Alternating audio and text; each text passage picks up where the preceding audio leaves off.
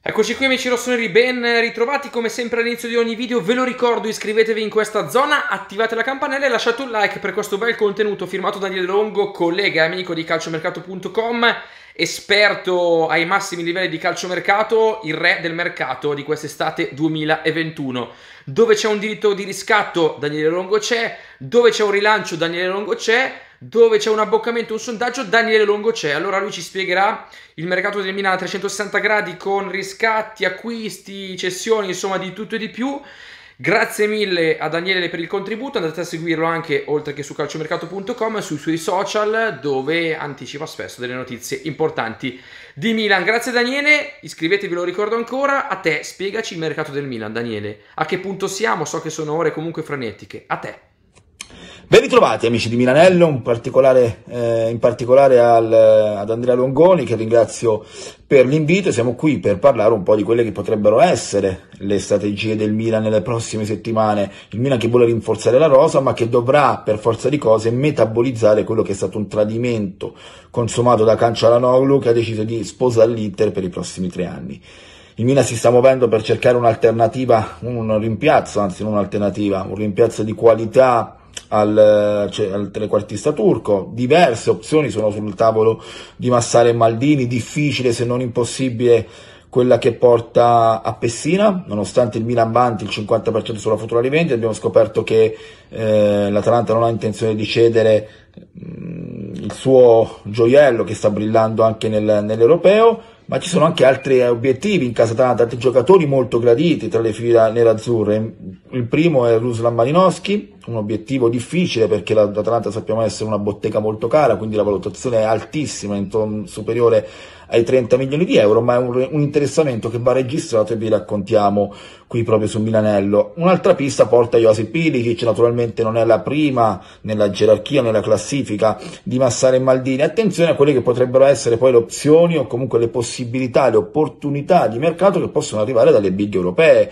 Ad esempio una potrebbe essere la Kim Ziyech, più last minute perché il Milan sta parlando con il suo agente, ha registrato la volontà di lasciare Londra, ma potrebbe prenderlo solo in prestito, quindi un'operazione eventualmente da eh, posticipare alle prossime settimane. Ma attenzione anche ai, ai discorsi con il Real Madrid, con il Barcellona, ci sono diverse situazioni da tenere ben monitorate che il Milan vuole approfondire. Con il Real Madrid invece si sta parlando e si sta arrivando a un accordo totale, definitivo per Brian Diaz, operazione ormai in dirittura d'arrivo, ma c'è ancora un po' di distanza insomma, sulla cifra perché il, il Milan eh, vuole chiudere l'operazione a 20 milioni di euro, il Real Madrid a 25, l'operazione comunque si chiuderà in prestito con diritto di riscatto e contro riscatto a favore del, dei Blancos. Eh, fondamentale per il buon esito dell'operazione sicuramente sono stati i rapporti tra Maldini e Ancelotti, il tecnico di Reggiolo ha dato il suo assenso alla cessione di Brian Diaz, io credo che già in questa settimana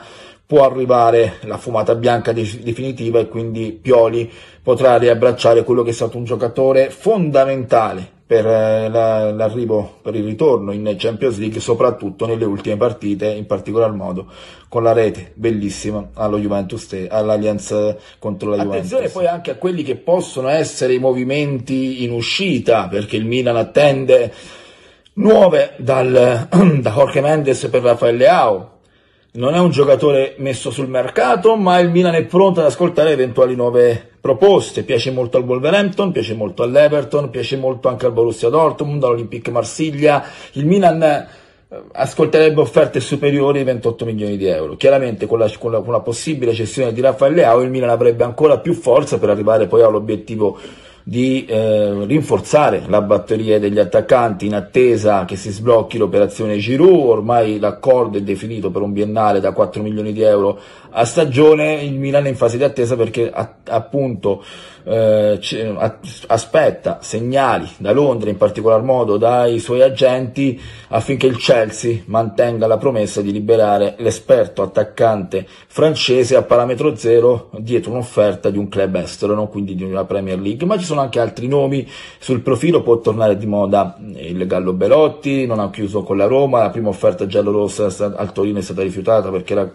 eh, di 18 milioni di euro più bonus per arrivare fino a 22, eh, Cairo chiede ancora 30 milioni di euro, non escludiamo dalla lista Belotti, non escludiamo anche eh, Jaremchuk del, del Ghent, un, un, profilo che piace molto, ma sicuramente in questo momento non è una prima scelta. L'idea del Milan è prendere un attaccante di esperienza individuato in Olivier Giroud e magari un giovane di ottime prospettive che possa alternarsi anche con i due eh, totem che sarebbero Zlatan Ibrahimovic appunto e l'attaccante attualmente in forza al Chelsea. Eh, ci sono anche movimenti per quanto riguarda il ruolo di centrocampista centrale, piace molto Boubacar Camara del Marsiglia, è stato proposto più che altro dal club francese ma una valutazione importante nonostante un contratto in scadenza nel 2022 in lista ci sono anche Scouten e Svonberg del Bologna, ci sono anche va avanti la trattativa e credo che verrà conclusa in questa settimana per Sandro Tonali, quindi la batteria dei centrocampisti della prossima stagione del Milan dovrà essere composta da cinque elementi, Benasser che sì, Tonali e il Milan lavorerà molto attentamente alla, alla ricerca di due profili da inserire nella rosa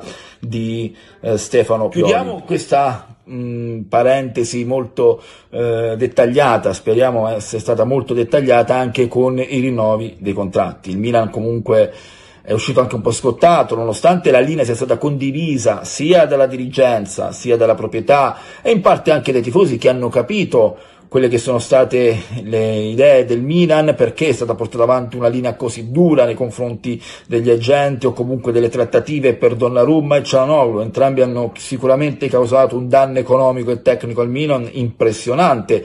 però si è, stato, si è, portata avanti una linea della coerenza, linea che comunque verrà portata avanti appunto anche per gli altri dossier che sono sulla scrivania eh, di Massara e Maldini appunto a casa Milan, con un'eccezione perché per Franchessi, da quello che abbiamo capito, si cercherà in tutti i modi di arrivare a un accordo, accontentando il centrocampista iboriano che ha chiesto un contratto vicino ai 6 milioni di euro, da circa, circa, circa 5,5 eh, appunto milioni eh, di euro, circa circa mi ero un po' ehm, incantato scantato su questa cifra importante che il Milan cercherà di raggiungere nei prossimi incontri, che si dovrebbe rinnovare il contratto per altre quattro stagioni, è uno stodo cruciale per i progetti e per la credibilità di un progetto, appunto quello rossonero che non può prescindere da, chi, da un centrocampista migliore dell'ultima stagione in Serie A e soprattutto trascinatore sia in campo che nello spogliatoio con gol e soprattutto con una crescita tecnica, tattica e mentale impressionante rispetto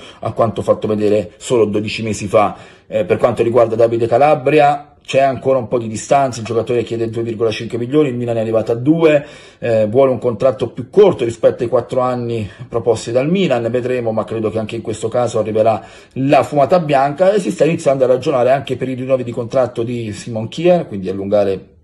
di una stagione l'attuale scadenza, mentre per quanto riguarda Alessio Romagnoli ancora non si registrano particolari passi avanti, il giocatore non sta eh, puntando i piedi per andare via, sta valutando tutto, tutto insieme al suo agente Mino Raiola che non ha ancora eh, iniziato una vera e propria trattativa con il Milan, non è detto che questa arrivi, io credo che l'opzione più probabile ad oggi sia quella di una cessione onde evitare di perdere il capitano delle ultime stagioni a parametro zero solo fra 12 eh, mesi. È stato un piacere stare con voi, mi raccomando rimanete sempre sintonizzati su Milanello del mio amico Andrea Longoni per tutte le ultime da casa Milan sul mercato e su tutte le vicende del mondo rosso-nero. Un saluto da Daniele Longo. E allora grazie a Daniele Longo che ci ha spiegato il mercato del Milan anche in questa nuova veste grafica che spero sia stata di vostro gradimento. Vi mando un caro saluto e che dire, ci vediamo presto, iscrivetevi in questa zona, lasciate tanti like qui sotto, forza Milan oggi più che mai, domani ancora di più come diciamo sempre. E che sia un buon mercato. Ciao, grazie ancora Daniele.